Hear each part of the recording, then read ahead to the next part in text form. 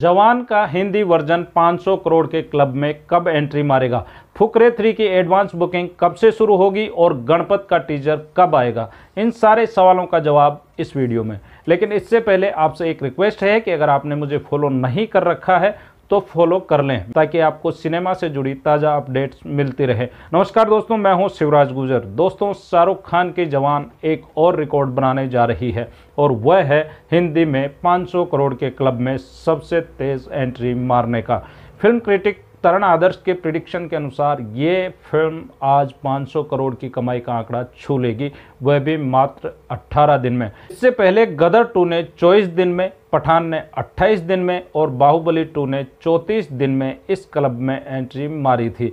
अब बात गणपत की। अमिताभ बच्चन, टाइगर श्रॉफ और कृति सेनन की film Ganapath, a hero is born का टीजर 27 सितंबर को आएगा। इसका अनाउंस मेकर्स ने टाइगर श्रॉफ का एक वीडियो जारी करके किया है, जिसमें वो दुनिया बदलने की बात कर रहे हैं। डायरेक्टर विकास बहल की ये फ़िल्म 20 अक्टूबर को रिलीज़ होगी। फुकरे थ्री की एडवांस बुकिंग शुरू हो चुकी है। डायरेक्टर नवदीप सिंह लांबा की ये फ़िल्म 28 सितंबर को सिनेमा घरों में पहुंचेगी। इस फ़िल्म में पुलकित सम्राट वरुण शर्मा, मनजोत सिंह, ऋचा चड्डा और पंकज त्रिपाठी लीड रोल में नज़र आएँगे।